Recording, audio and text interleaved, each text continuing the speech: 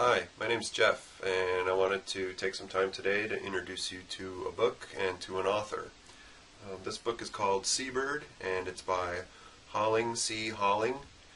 And this book is about a teenage boy named Ezra who is a ship's boy on a whaling boat, and he gets a hold of some walrus tusk and carves, does some scrimshaw work, makes a seabird,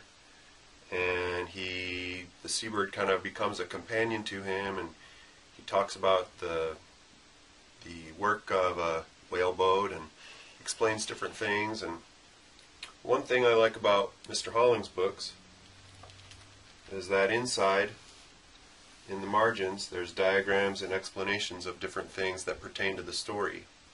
So if you like if a person likes history or geography or things like that, I think Mr. Holling's books would really appeal to that person.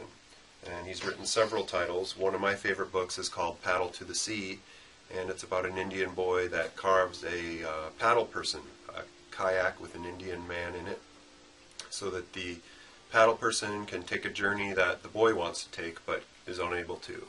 That's one of my favorite stories, and it's also by Holling C. Holling. Thanks, and have a good day.